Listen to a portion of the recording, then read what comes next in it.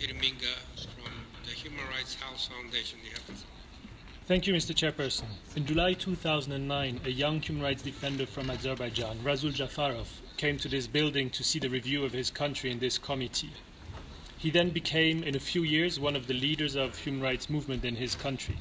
Just like so many others, in his country he was then arrested and spent almost two years in prison until recently. Authorities continue to arbitrarily detain, detain civil society actors, as documented recently by the Working Group on Arbitrary Detention following its visit to Azerbaijan.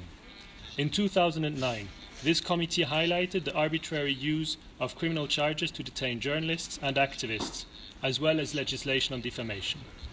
Instead of revising its practice since 2009, legislation affecting civil society has been adopted to construct an environment in which civil society actors are at the mercy of the authorities, with mechanisms restricting registration of NGOs and access to funding.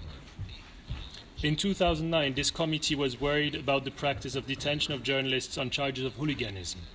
The situation now evolved in holding human rights defenders and journalists with organization directed charges, allowing for longer sentences.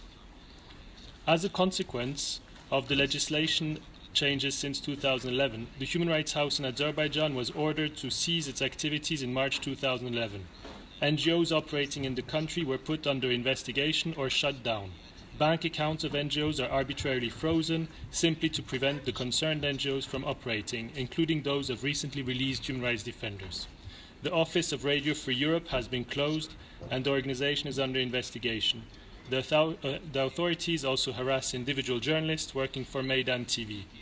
The situation of the Institute for Reporters' Freedom and Safety, whose leader had to flee the country and will be speaking here today is emblematic of the repression against human rights defenders and media rights groups. Distinguished members, on 26 September, Azerbaijan held a new constitutional referendum.